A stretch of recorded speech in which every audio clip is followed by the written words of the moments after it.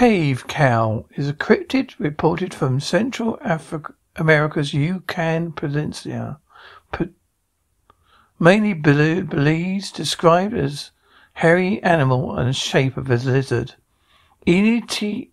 Ivan T. Sanderson suggested Adele A. Duran agrees it may be a living ground sloth. Cave cows described by Malayan people as lizard-shaped animals covered in hair, about ten inches long, which, according to their name, lived in caves. Gaines' animal had shaggy black hair and white mane. The animal which attacked Joe was powerful, capable of shaking a large canoe palm, and had three large claws. Frank Dulurex or Thomas Gain believed it may have been feeding on the palm berries. Blainex's animal was reported from a lesk of Sorrel grass savanna and West Virginia virgin forest and also lived in a cave. Sightings 1890s.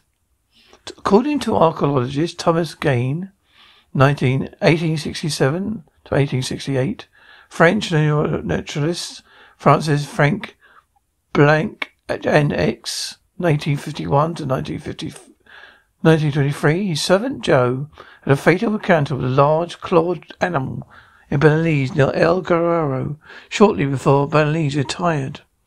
While resting in a remote savannah during a calm, windless day, Bennett sent Joe to investigate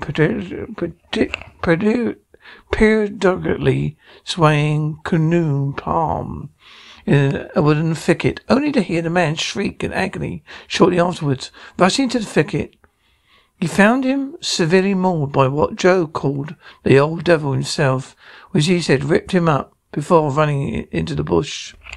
After Joe died of his injuries, Bennett sent spent a day following the creature's pretty obvious trail through the savannah, virgin forest, and a dry riverbed.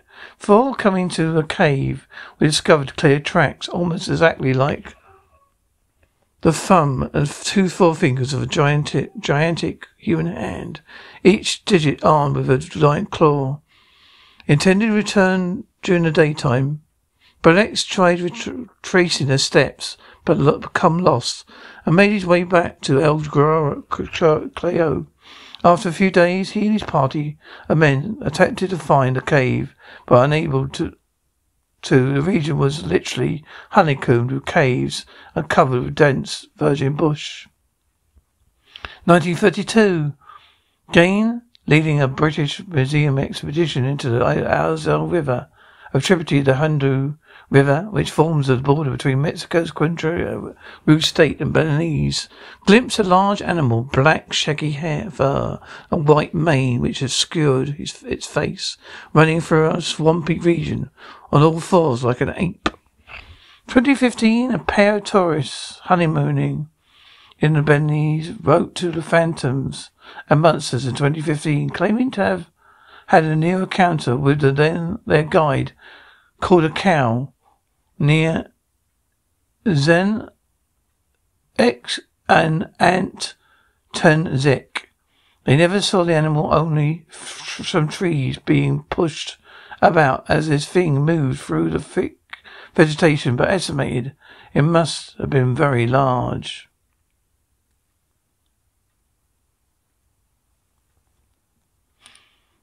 Ivan T. Sanderson theorized that cave cows were medium-sized ground sloths, consistent of heavy description of heavy, hairy lizard-shaped bodies and cave-dwelling habitats. While Gain is said to believe the animal he saw in a zoo resembled a ground sloth. A number of medium-sized ground sloths are known from the late Pleistocene Yucatan, including the including many more.